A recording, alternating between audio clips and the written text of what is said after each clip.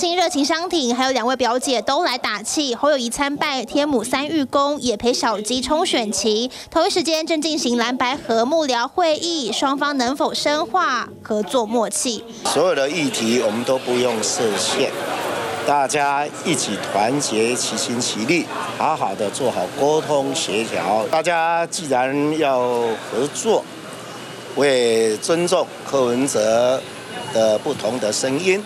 在强调没设前提，蓝白河协商前，美丽岛最新民调曝光，在萨卡都情势下，赖清德支持率百分之三十七点八，国民党侯友谊百分之二十二点四排第二，柯文哲则以百分之二十点八位居第三。对比上次十月五号公布民调，侯友谊成长百分之一点六，逆转柯文哲。乘胜追击，北中南一直到十一月已经规划五场大造势。当然，我们这一次的一个造势就是希望在月底把民调冲高。我们相信基层的实力。我们只要一发挥，我们的所有的部队地面部队动起来的时候，我们的民调还是会往上冲。用相对拿手的陆战拉抬声势，但若和柯文哲辩论之后再比民调，被认为可能位居下风。如果说不是那种非常那一种激烈那样的一个哈彼此互相交叉诘问的这样的一个辩论方式，如果辩论形式是类似像那种证监会，那其实对于口才或许比较不好的侯友谊而言，其实没有多大的差距。